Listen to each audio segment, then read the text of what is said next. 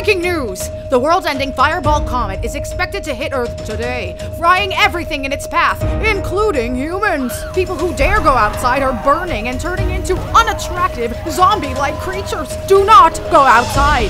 Sunglasses will not help this time. Oh, and I'm just getting word that all NASA officials must report for duty in a final attempt to blow up the comet. My god, I gotta go kiss my cat!